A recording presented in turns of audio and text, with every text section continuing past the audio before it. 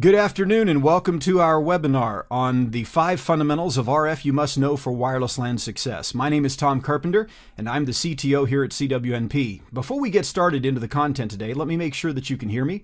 If you could just either chat in or in the Q&A panel, just let me know that you're able to hear me. That'll be great and we'll continue on with the presentation. Excellent. Thank you for that feedback. So we're going to go ahead and get started today with this topic, which is a foundations topic, and it is really targeted at two groups of people. Those are the people studying for CWTS and or CWNA. However, these foundational concepts are absolutely essential to implementing an effective wireless LAN. If we don't know how RF works, we can't make RF work the way we want it to. And so it's very important to understand these foundations. Therefore, even if you've been around Wi-Fi for a while, I'm sure you'll hear some tips and tricks that will help you better optimize your networks as well. Now, before we get into the technical content of today's presentation, I do want to remind you that, of course, CWNP is all about certifying your knowledge and capabilities in relation to wireless networking. This means that we provide different certifications focused on different specialty areas of wireless networking. Of course, we have the CWNA, the Certified Wireless Network Administrator, which is the foundation of all of our other professional level certifications and even our expert level certification. Here you're going to learn about the basics of RF, which is partly what we're talking about today. You'll learn about wireless LAN hardware and the basics of planning and implementing a wireless network. And then at the professional level, there are three certifications the security professional, the design professional, and the analysis professional. And these focus on three very important key areas of wireless LANs. First of all, of course, security, making sure that our network is secure and only those who should have access do have access, and that all of the data is protected from eavesdropping and other attacks. And then, of course, design is about planning and implementing an effective wireless LAN that meets your needs. Key component there is meeting your needs. And that's why one big part of CWDP is needs analysis. And then, of course, the analysis professional is focused on looking at an existing wireless LAN and finding out how to make it perform better, how to resolve different problems that might be happening in the wireless LAN, and so forth. So it's really a troubleshooting masterclass. And then once you have your CWNA, CWSP, CWDP, and CWAP, if you choose, you can apply for the Certified Wireless Network Expert. The four before it all have an exam associated, so you have to pass an exam to gain the certifications.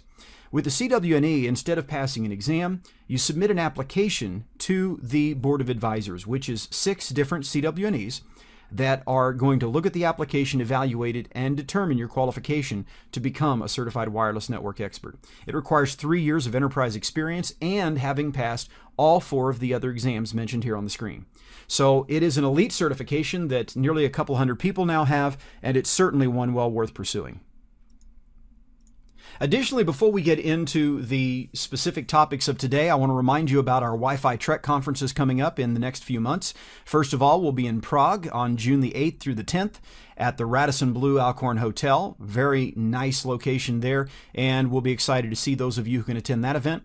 And then we'll be in New Orleans later in the year, September 28th through the 30th at the Hilton Riverside. And you can, of course, uh, find more information at the website at cwnp.com. To go directly to the Prague registration page, go to cwnp.com slash 2016 conference slash Prague. Okay, so let's talk about our agenda for today and what we'll be talking about. First of all, we're going to be looking at RF basics. So before we get into the five RF fundamentals, I do want to review some basics with you to make sure you have the terminology down. Then we'll get into the five RF fundamentals, which are channels, behaviors, measurements, interference, and analysis. And we'll look at those one by one. Our webinar will run until about 1.30 Eastern Standard Time, and so we try to keep them to about a half hour to not take too much time out of your day and yet provide you this valuable technical information. So first of all, RF basics. What we need to understand is frequencies, waves, and radios. The frequencies are the specific locations within the RF spectrum that we actually use to transmit our data or to pass signals on. The waves, of course, are the actual medium that we manipulate in order to modulate data and therefore transmit data. And then the radios do the transmission. So let's talk about this a little bit more. First of all, when we look at frequencies, the two primary frequency bands that we use for 802.11 wireless networks are the 2.4 gigahertz frequency band and the 5 gigahertz frequency band. Now, 2.4 gigahertz many years ago kind of won a battle because of being first to market. That is, with the original 802.11 standard that came out in 1997, sometimes called 802.11 prime, did not specify any operations in 5 gigahertz. It only specified operations in 2.4 gigahertz. And since that was first, these were the devices that existed. We then had a rolling effect that has stuck with us to this very day, and that is that because 2.4 gigahertz client devices already existed, even when APs came out that could support both 2.4 and 5 gigahertz, we still kept supporting 2.4 gigahertz because 2.4 gigahertz clients existed. And so, therefore, we still find ourselves in that space today, which is not a good space to be in. 2.4 gigahertz is very cluttered. Some have said in recent months that 2.4 gigahertz is dead. This is, of course, completely untrue. How can you say that something that is alive and utilized more than anything else is dead? It's not dead, but it's certainly crippled. It's crippled because of the fact that so many devices operate there, not just our wireless networking devices, but many other devices as well. So 2.4 gigahertz is not an effective band for enterprise wireless LANs when we have control over the client devices that are going to be used. If we can dictate that 5 gigahertz clients will be used, then we want to use 5 gigahertz clients. Why? Well, we'll see later. There are many more channels in 5 gigahertz because we have much more frequency space. So, the first thing to realize is that the frequencies matter. And the frequency is really just how often an RF wave cycles per second. So, how many waves per second are we creating? 20 hertz would be 20 cycles, 900 megahertz would be 900 million cycles, 2.4 gigahertz is 2.4 billion cycles per second. So, higher frequency waves have shorter wavelengths, and lower frequency waves have longer wavelengths. Now, the other factor is the wave itself. So the wavelength is an entire 360 degree movement of an RF wave. This is one hertz. And waves have characteristics that are important, like the amplitude of the wave. This is the strength or power of the wave. How strong is it? And the strength or power of the wave attenuates or weakens as it travels through free space and as it passes through materials like walls and doors and floors. The period is the distance between two identical points on an RF wave, and a phase is really not a feature of a wave, but it is the characteristic when two waves are compared with one another. That is, two waves can be in phase or they can be some degree out of phase. When two waves are in phase, if they are the same wave, they strengthen the signal received. When two waves are 180 degrees out of phase, they can completely cancel the signals, but certainly out of phase waves arriving at a receiver cause a weakening of the signal. Now, how can you have multiple phases of the same signal? Well, you do that because of the RF behaviors we'll talk about later. The reflection that causes the signal to move around within a space so that you get multiple copies of the signal at the receiver at slightly different times, which means they're slightly out of phase or possibly completely out of phase. This is an important thing to consider, and it's one thing that we actually take advantage of in our modern wireless LANs with 802.11n and 802.11ac using what is called MIMO, multiple input, multiple output.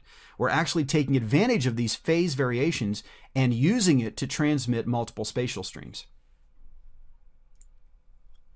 Now, the last thing I mentioned for RF basics is the radios. So the radios are the transmitters and receivers of RF signals.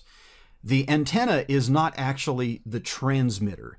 The antenna is the radiator. The antenna simply allows the electromagnetic waves to go out of it into free space and propagate, but it's not the actual transmitter. The transmitter, you could say, is the entire radio chain, the combination of the radio, any cables or connectors, the antenna, all of it together become a transmitter. It's also called an intentional radiator. Now, many devices have multiple radio chains. So when you see 3 by 3 by 3, that means there are three radio chains and we can send out three spatial streams. And this is an important thing to consider when you're implementing modern wireless LANs. So now let's begin talking about the five RF fundamentals or the five fundamentals of RF that you have to know for wireless LAN success. The first one is channels. And we have different channels depending on whether we're in 2.4 gigahertz or 5 gigahertz. And we're about to see why I said that 5 gigahertz is so much better for implementing wireless LANs. In 2.4 gigahertz, you have a total of 14 channels. However, these 14 channels are spaced only 5 megahertz apart based on their center frequency. So you'll notice in the screen that channel 1 centers on 2.412 gigahertz. And channel 2 centers on 2.417 gigahertz. So notice they're only 5 megahertz apart. However, the channels are 20 megahertz wide for OFDM, which would be 802.11b, or rather, I'm sorry, 802.11g, and 802.11a in 5 gigahertz, but we're focused on 2.4 gigahertz here, and also 802.11n. So 802.11n and 802.11g use OFDM, and they use 20 megahertz channels. 802.11b and the original 802.11 use 22 megahertz channels. So the point is that because the channels are 20 or 22 megahertz wide, when we actually transmit, and they're centered on a center frequency, and these numbered channels are only 5 megahertz apart, that tells you that using channel 1, the actual signal itself is going to span channels 1, 2, and 3. And then the side bands, the extra energy that is just radiated as we generate a signal, is going to go even up to 4 and possibly 5, depending on the output power. This is why we say in 2.4 gigahertz, when you only have 11 channels, which is all we have in the US and in many other regions of the world, you only have three real channels that you can use. Even though there are 11, we can only use three of them channel 1, channel 6, and channel 11. This is why, hopefully, in your enterprise wireless LAN on 2.4 gigahertz, when you do a scan of the environment, you see a lot of APs on channels 1, channel 6, and channel 11. Hopefully, you don't see any APs on channels 2, 3, 4, 5, 7, 8, 9, and 10. Sadly, in mixed environments, particularly in shared spaces like office spaces and things like that, where multiple companies are represented, you see nearly all of these channels utilized. And this causes a lot of what we call adjacent channel interference. The channels are stepping on each other because their signals invade the other channel bandwidth. So 2.4 gigahertz, here's why it is so cluttered. We really only have three channels, and then add on to that all of the many, many, many devices that are actually there operating in 2.4 gigahertz. Now, when we get to 5 gigahertz, things are much improved. In 5 gigahertz, we have 20 megahertz OFDM channels. We have other channel widths as well. So you can bond two 20 megahertz channels for a 40 megahertz 802.11n or AC channel. You can also have 80 megahertz 802.11 AC channels and 160 megahertz 802.11 AC channels. Now, I don't recommend using 160 megahertz channels, even if they're available and when they're available, uh, in any enterprise deployment ever. 80 megahertz channels are still up for debate in some enterprise deployments based on the the fact that it has some dynamic channel capabilities built into 802.11ac so that it can only use a 40 megahertz channel if that's all that's clear, or a 20 megahertz channel if that's all that's clear, or it can burst at the entire 80 megahertz channel if it's all clear. So there are some capabilities there, but because we haven't really been implementing it, we don't really see the efficiency gains that it might bring us yet in any practical real world implementation. So at this time, we're still generally recommending 20 and 40 megahertz channels. 40 megahertz channels for standard data networks that are medium to low density.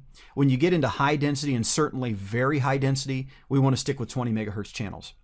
Now, we don't really have the depth of time to get into all of the details about channel selection today, but just note that many of the 5 gigahertz channels are what we call DFS channels, dynamic frequency selection. And what that means is the channels may have to monitor for radar and if they detect radar activity, they have to move off channel.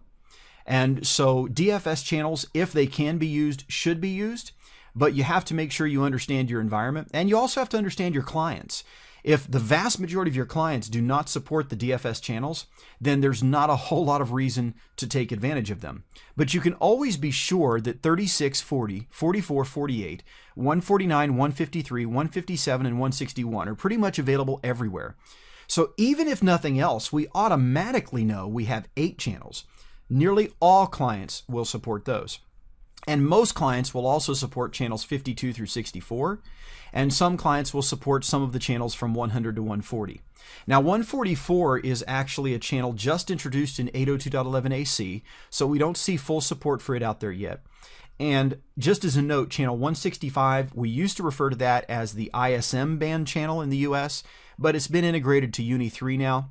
It really doesn't matter. On all of our exams today, you are no longer tested on terms like U-NII 1, U-NII 2, U-NII 2E, U-NII 3, or ISM, because those are US specific and our exams are global. So instead, you're just tested on your awareness of the frequencies and the channels that are used and are available. Now, the next thing that is one of the five fundamentals of RF you must know is RF behavior. RF, as it moves through a space, has a particular behavior set, and, and these behavior sets include scattering, diffraction, reflection, refraction, and absorption. Now, we don't have to get too fancy in, uh, into all the technicalities of it today. You just need to understand these basics.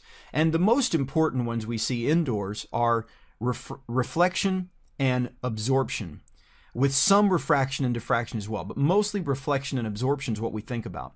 So reflection is the RF signal reflecting or bouncing off of some kind of reflective material that has a size greater than the wavelength. And so we're talking here about metal objects like filing cabinets, things like that. These can all cause reflection, and many other objects cause some level of reflection. Its reflectivity factor may be higher or lower, but some level of reflection occurs. Absorption is when, technically speaking, the RF energy is converted to heat. And so what happens is the RF energy converts to heat as it is absorbed, and therefore it is lost. This is why your microwave oven works, okay? You close the door, you start it up, and all of a sudden 2.4 gigahertz radio waves are blasted into the microwave oven. These radio waves are absorbed very well by water, and so the absorption is the converting of the electromagnetic waves into heat. And the end result is that your liquid heats up or anything that has moisture in it that's in the microwave. Think about it like this. Have you ever noticed that you can take a glass of water, sit it outside, and if the light waves pass through the glass, it will actually heat up the water more than just contacting water directly. Well, this is in part because of absorption and refraction behaviors. Now, refraction is where the RF wave bends as it moves through a material. So it's going to change slightly. And the example I like to use with this is take a clear glass, put some water in it, and take a butter knife place it in the glass and look at it from the side. It will appear to you that the knife breaks in two at the point of the water. And so you'll see the part of the knife that is in the water appears to be at a different location than where it really entered the water. There's this kind of illusion that occurs. That's because the light waves are refracting as they pass through the water. And so refraction can also occur, slightly changing the path of an RF wave, and of course, some absorption as well. Diffraction is how an RF wave may move around a large object and sometimes change direction. And then scattering is when an RF wave hits something a little different than reflection that is smaller than the wave and breaks it up and sends it in multiple directions. It's really many, many reflections of the RF wave. So, why are these behaviors important? Well, they're the reason that when you put an AP in a room in a building, those radio frequency waves can get to nearly every place in the room and also other rooms because they're reflecting around as they move throughout the space. And of course, they're passing through some materials as well. Now, the interesting thing is that this can be bad for old type of networks like 11BG and 11A, but it can be very good for new networks like 11N and 11AC because these multiple signals give us this reflectivity that allows us to have multiple spatial streams, separation of data based on phases and other factors. So, RF behaviors, key to understand. The next of the five fundamentals of RF you must know, the third, is RF measurements. So we need to know how we look at an RF signal, measure it, and understand how strong it is. Now we can measure RF signals in absolute and relative units. We'll talk about absolute first. Milliwatt is a common measurement. A milliwatt is one one thousandth of a watt. So if we say we have a 1000 milliwatt signal, then that means we have a 1 watt signal, okay? Usually we're looking at milliwatts in indoor wireless LANs at a range somewhere between 5 and 50 milliwatts of output power. So these are the actual uh, power levels in milliwatts. Now, the issue is that we don't use really very high output power levels, but we do use very low output power levels, or at least very low received power levels. And because of that, it's good to have another absolute measurement, and that is what we call dBm, decibels to milliwatts. Now, a decibel itself is a relative measurement. A dB, that's a relative measurement, but dBm is an absolute measurement because it's a decibel relative to milliwatt. That is, 0 dBm equals 1 milliwatt.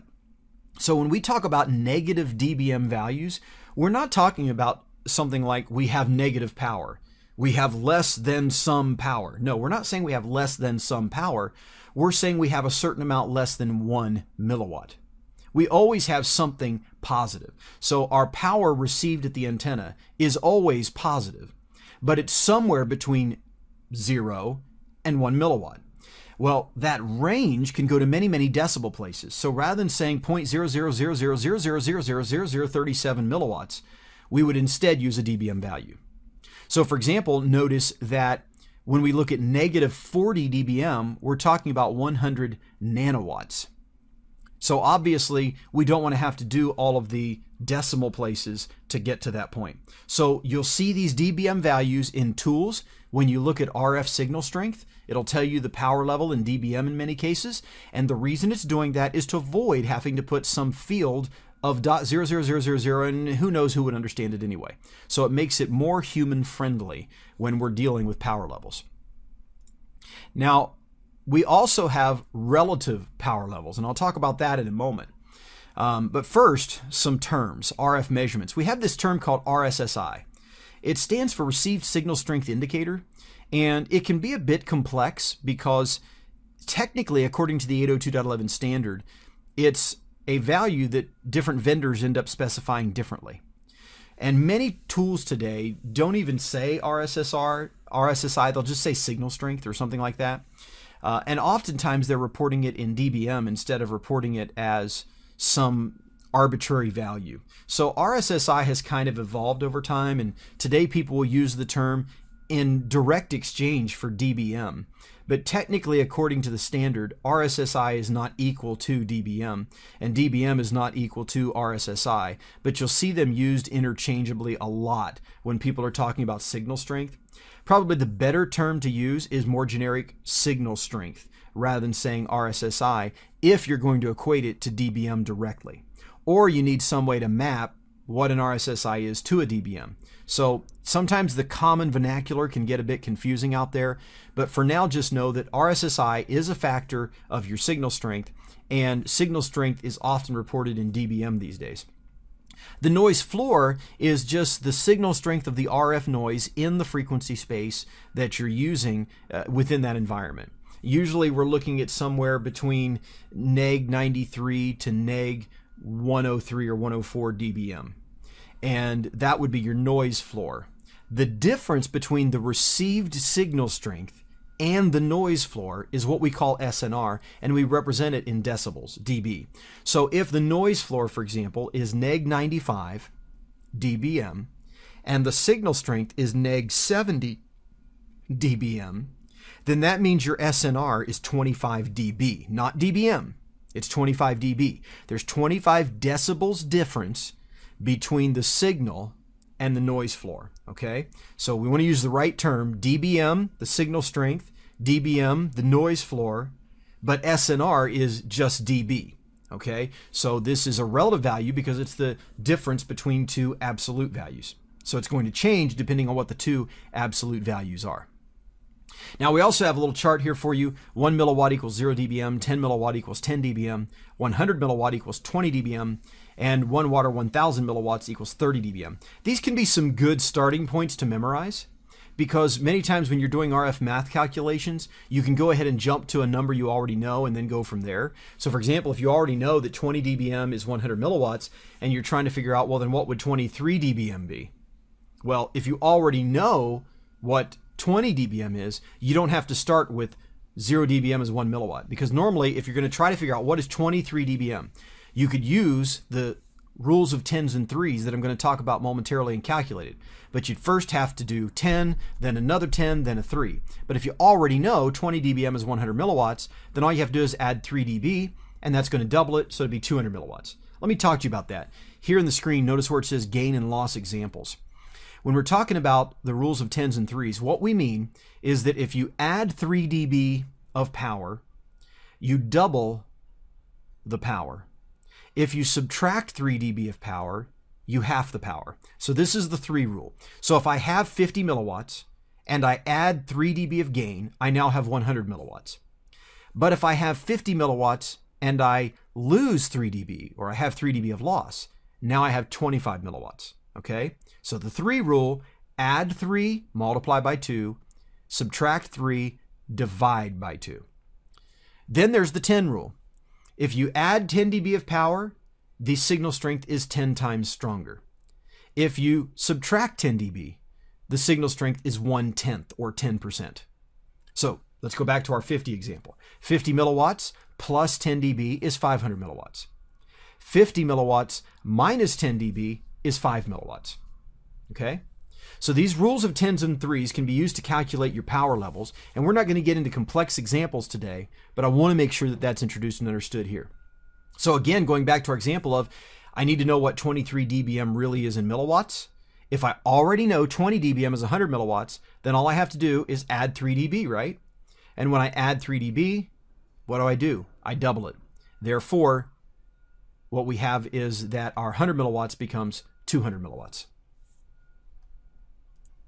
Now, the fourth RF fundamental, or of the five fundamentals you need to know for wireless LAN success, is that interference is real. Um, RF interference occurs when an external modulated or unmodulated influence affects the ability of an RF receiver to interpret a data signal. This is important because higher data rates use more complex waveforms. And because they're more complex, it's more susceptible to error. So we see here on the screen uh, an example of a constellation chart it's called for 64 QAM. And that's quadrature amplitude modulation. Now this is not even the highest data rate modulation. We have 256 QAM now in 802.11 AC and we're going to go higher in the future.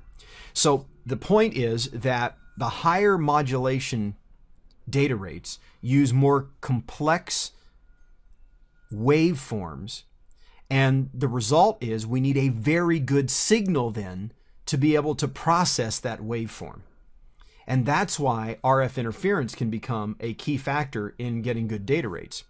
Low signal strength and external RF interference sources are problematic. Now, it's important to know RF interference happens at the receiver. It doesn't happen at the transmitter or in between the transmitter and the receiver. That is to say, if I'm sending a signal on channel 1 in 2.4 gigahertz, to a receiver that's 200 meters away. And in the middle, there's another network on 2.4 gigahertz, but it has very weak signal strength. That network is not going to interfere with my signal. It's going to go right on ahead and pass through.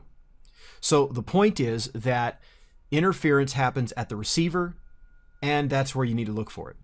Now, low duty cycle interference can often be tolerated. Low duty cycle interference means the interference is not existing, say, 40, 50, 60, 70% of the time on the medium. It just comes up maybe 5 to 20% of the time. In these cases, you may still be able to communicate, but you're going to find your retry rate will probably go up for your 802.11 devices. High duty cycle interference can wreak havoc on a channel. There are some devices out there that have a near 100% duty cycle, particularly some of the 802.11 channel video devices. They're not really 802.11, but they use the 802.11 channels and they can have very high utilization. We're seeing several of these now come in the 5 gigahertz range as well. So it's important to understand interference. And then the fifth of the five fundamentals of RF you must know for wireless LAN success is analysis. So all this other stuff we've talked about, channels, RF interference, RF measurements, all of these things we need to understand how do we look at it? How do we analyze it and see what's going on in our environment? Well, the answer to that at the pure RF level is something called spectrum analysis. With spectrum analysis or a spectrum analyzer, we can actually capture the RF energy and represent it in a lot of different ways. On the screen here, you can see the MetaGeek Chanalyzer and the WiSpy DBX adapter that's used with it. And you can see Air Magnet Spectrum Expert and the Spectrum adapter that's used with that. These are two very popular tools today because they're still updated and maintained and you can still buy the devices to do the spectrum analysis. And they operate, of course, in 2.4 and 5 gigahertz. So what they'll do is they'll show you the frequencies in fast Fourier transform mode, which is where uh, I like to say it like this. Think of it as if the waveform is coming right at you and you're looking at the individual frequencies and what's being modulated on them. And then you can also see uh, things like swept spectrogram and these types of views that are going to show you the RF energy over time in visual representations, usually using color to represent the strength of the signal. So if you're having what you think might be interference problems because of high retry rates or something like that, a spectrum analyzer will show you devices that are not 802.11, whereas a protocol analyzer is only going to show you 802.11 frames. With a spectrum analyzer, you can see video devices, you can see cameras, you can see phones, you can see microwave oven interference, you can see motor interference, anything like this that might be radiated in the environment. And you can also use them to move around until you find the signal is at its strongest to find the area where the actual radiator exists. So RF analysis is key. Of course, we talk about it in CWNA, but it's a key factor in CWAP as well. Okay, so we're going to have some time here for any questions that you might have here at the end of the presentation. And if you do not have questions, let me just say to you thank you for attending and uh, hope to see you on a future webinar or at one of our conferences coming up either in June or September.